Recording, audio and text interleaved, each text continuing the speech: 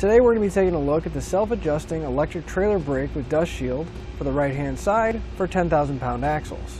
Part number AKEBRK-10R.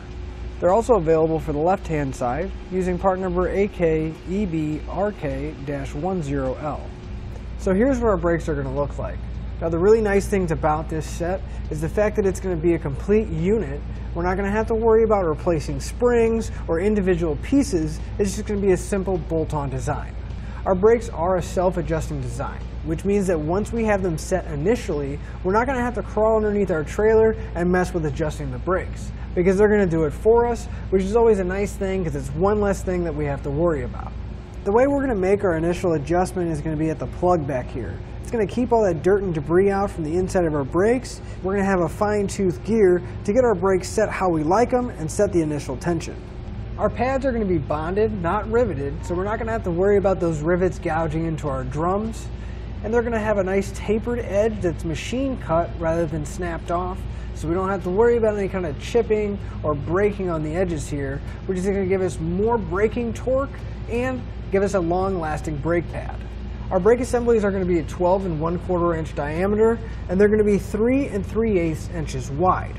They do have a 7 bolt mounting flange so make sure to check your trailer and make sure that it'll match up and they are designed to work with 10,000 pound axles. Just keep in mind that the mounting hardware is sold separately but you can pick it up on our website at etrailer.com. So now that we've seen what our brakes look like and gone over some of the features, let's show you how to get them installed. In order to get our new parts on, we're going to have to take our old parts off. So we're going to start by taking off our oil cap. Now, we have already drained our oil. And if you haven't, it would be a good time to go ahead and pull the cap and get as much oil out as you can so you don't make a big mess.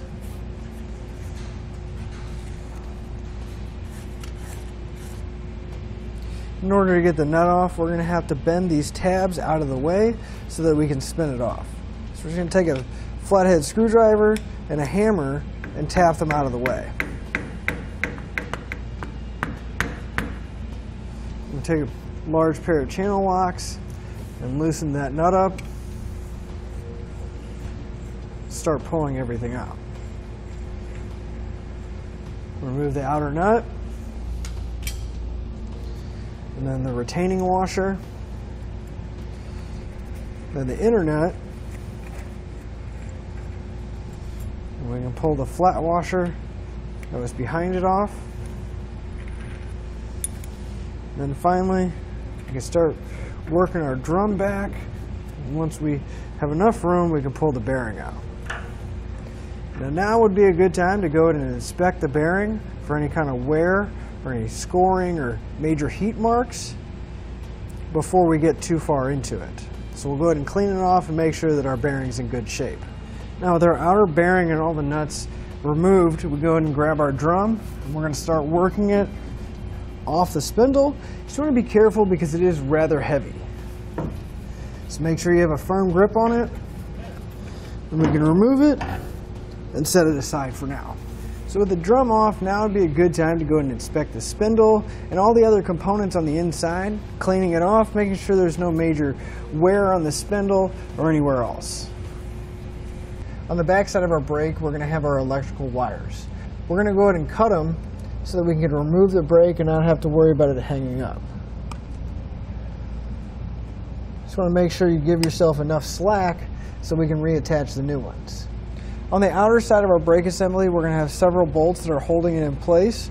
We're going to have three on each side, and then there's actually going to be one directly behind the magnet here at the bottom.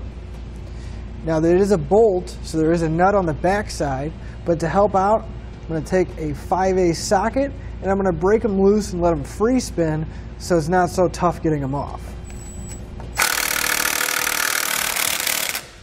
Now if you can't break the bolts loose on the front side, you can take a large ratchet or breaker bar and break the nuts loose on the back side, making it a little bit easier for those nuts to come off. So I'm going to take an 11 16 wrench and hold the nut on the back side while I use a 5A socket to remove the bolt.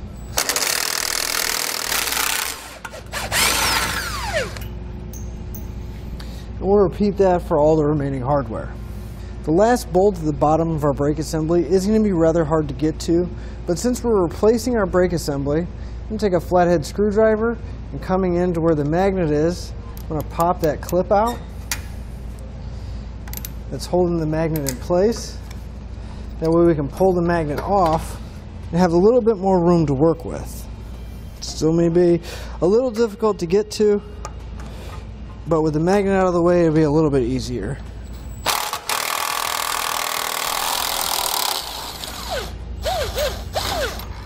Now with all the hardware removed, we can remove our brake assembly and it may be stuck on there pretty good. Just grab a hammer, give it a few taps on the backside, and it'll break it free, then we're gonna remove it. We can go ahead and clean off the axle here. You don't need to make it spotless, but you just wanna get the big debris off so it's not gonna interfere with us putting our new assembly on. So we can take our brake assembly and go ahead and slide it over the spindle and the axle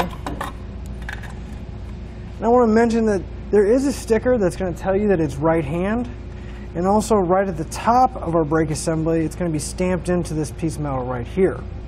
However, if both of those are worn, the sticker's missing, or you just can't find it, the easiest way is going to be looking at the brake shoes themselves. With the magnet on the bottom, you'll notice that the shoes are going to be two different sizes. The smaller one is always going to be going towards the front of the trailer, so we know that this is going to be the right hand side because we're working on the right side and the smaller shoe is facing towards the front. Now since our hardware holding our brake assembly on is pretty worn and rusted, you can see that it's covered in rust and half the threads are rolled over. It's really not going to be safe to use those. So we're going to be replacing it with a new hardware kit. So we can just line up the holes on a backing plate and on the axle We're going to put our bolts in place, and then we can get the rest of the hardware in. One thing to keep in mind is you want to watch your wires and make sure they're out of the way. They don't get pinched in between the backing plate and the brake assembly.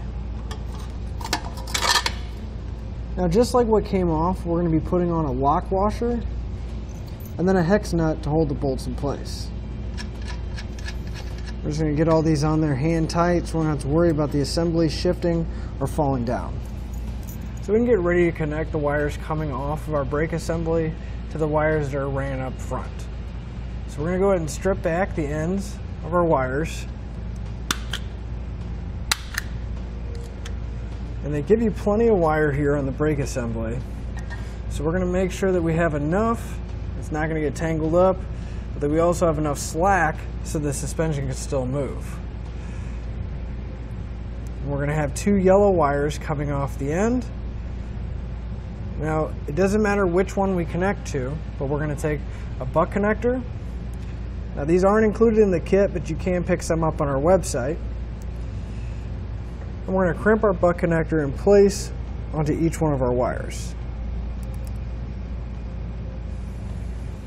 We're going to take each one of our yellow wires, and I'm actually going to strip back a little bit more since they're thinner wires. Now since I stripped off more than normal, what I'm going to do is, I'm going to twist my wire together. I'm actually going to fold it in half because it is a rather small gauge wire and that butt connector will grab onto it a little bit better.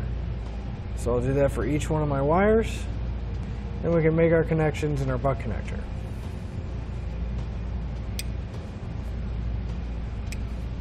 Now these are heat shrink butt connectors, so I'm going to take a heat gun and shrink them down. Just want to mention if you are using an open flame like a torch or a lighter, you want to be extra careful not to burn or char the wires or the connectors themselves.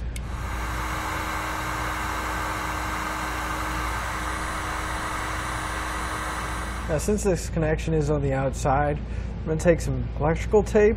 I'm going to wrap up my connectors to help protect them a little bit better. So now I'm going to take a couple zip ties and tie the excess cable around the axle. But again, just making sure that I leave myself enough room for the suspension to flex. Just want to make sure that the wires aren't going to rub or chafe against anything. And they're going to be nice and out of the way.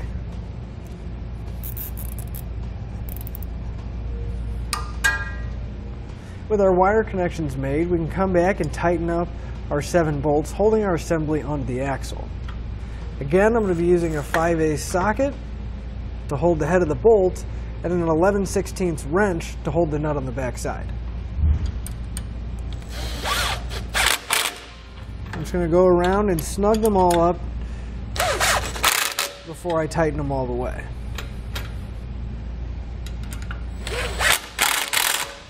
Now for the one that's behind the magnet, you're going to want to take a 5 ace wrench and kind of sneak it in underneath the spindle here to where you get a hold of it.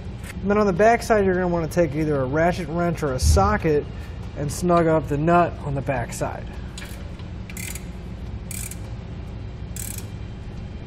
Before we put our drum back in place, we want to make sure that our spindle is nice and clean because we don't want any dirt or debris or anything else getting in the way, preventing our drum or the seal from seating properly.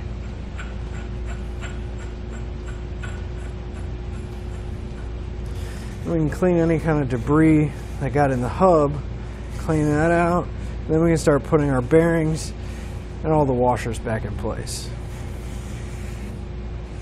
Then we're going to remove our cap to fill our oil